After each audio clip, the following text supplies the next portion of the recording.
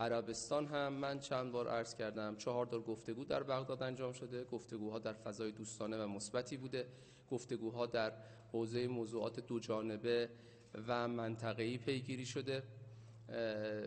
ما یک سری نکات رو به عنوان نقاط مورد اهمیت بیان کردیم. این گفتگوها رد و بدل شده تماسا ادامه داره.